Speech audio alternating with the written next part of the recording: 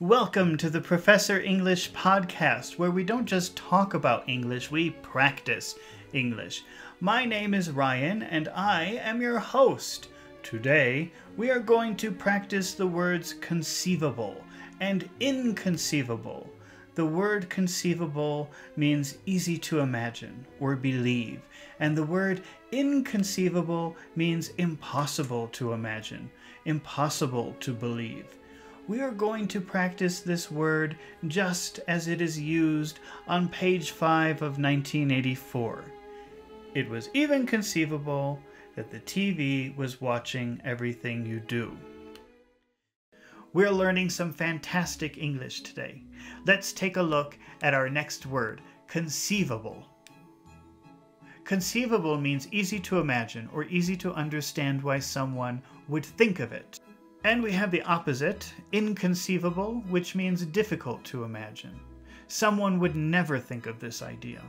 Let's practice using it. Here's a situation John hates spinach. Just repeat this sentence. He has tried frying it. He has tried frying it.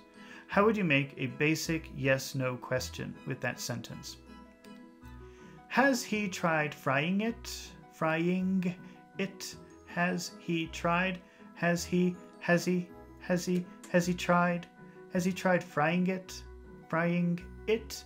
Frying it? Has he tried frying it? This question is like a suggestion. Maybe you think frying it will make it more delicious. Now let's answer with this phrase. He has tried frying it. He has tried every way to eat spinach. He has tried every way to eat spinach. He's tried every way. He's tried every way to eat spinach. Okay. Now we can add the word conceivable, and this will mean every way that you can think of, every way that you can imagine maybe it even means don't give me suggestions. We've tried everything. He has tried every conceivable way to eat spinach. He's tried every way you can think of.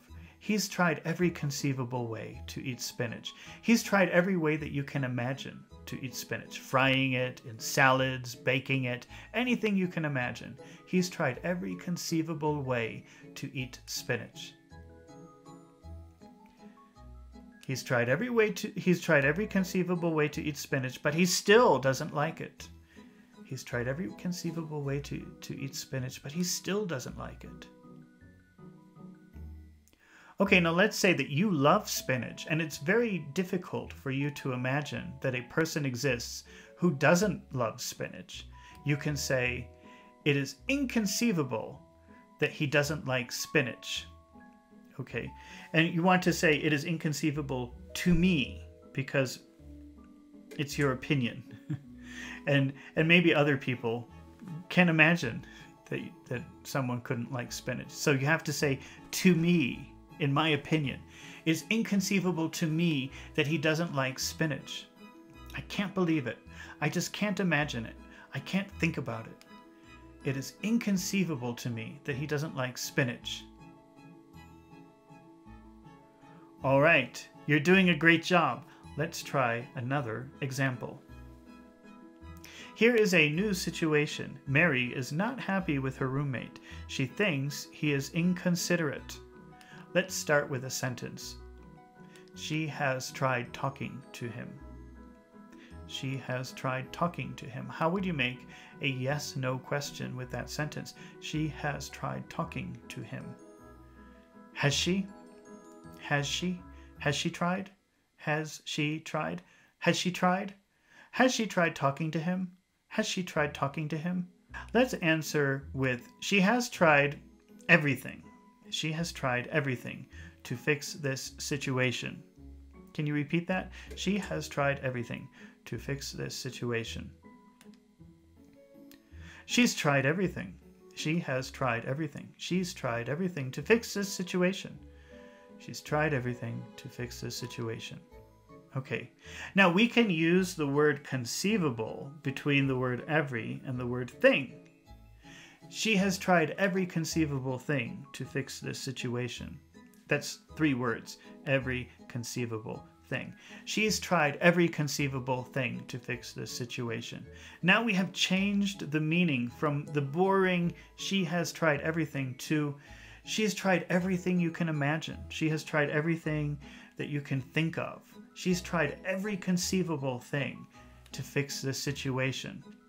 No one can think of a solution to this problem. No one can imagine the solution. She's tried every conceivable thing to fix this situation. Now let's say that you like both Mary and her roommate, and it is impossible for you to imagine that they can't be friendly with each other. They both seem so friendly to you. Uh, then you can say, It is inconceivable to me, in my opinion, it is inconceivable to me that they don't get along get along. Get along. It is inconceivable to me that they don't get along. And this means it's difficult for me to imagine a situation where they would be unfriendly to each other. I cannot imagine them fighting. It doesn't seem possible. It is inconceivable to me that they don't get along. All right, super duper job. Let's try another example. But before we do, I just want to ask you, do you find these exercises useful? If you do, then please take the time to subscribe to my channel. And if you are watching the podcast on my YouTube channel, Professor English ESL class, then please take a moment to press the like button. It helps my channel so much and lets me know that you want to see more exercises just like this one. Now, let's get back to practicing some English. Here is a new situation. Mike cannot pay his rent this month. Oh, that's bad. Mike cannot pay his rent this month. Now, just repeat this sentence. He has asked his friends for help. He has asked his friends for help. Asked his. Ask tis. He has asked his friends for help. Asked his, ask tis. He has asked his friends for help. Basic question. How will you make a yes no question with that sentence? Has he? Has he asked his friends for help? Has he? Has he? Has he? Asked his? Asked his? Has he asked his? Has he asked his? Has he asked his friends for help? Has he asked his friends for help? Has he asked his friends for help? Let's answer with He has tried everything. He has tried everything. He's tried everything. He's tried everything. Now let's add conceivable between every and thing and this will change the meaning.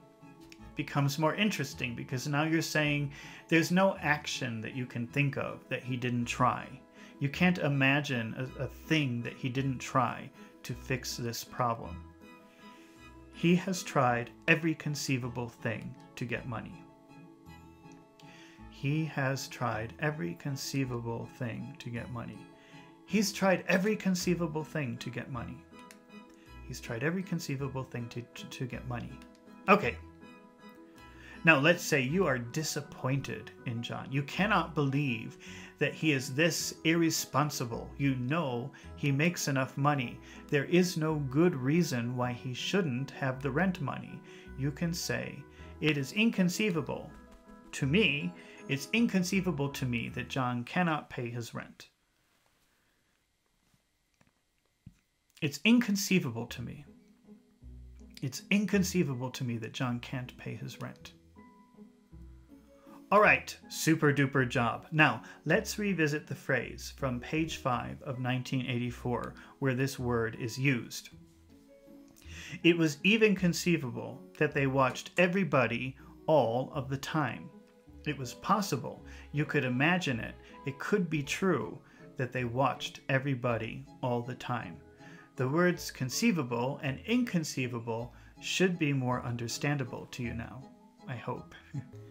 it's been a real blast practicing English with you today, and I hope to see you here again soon.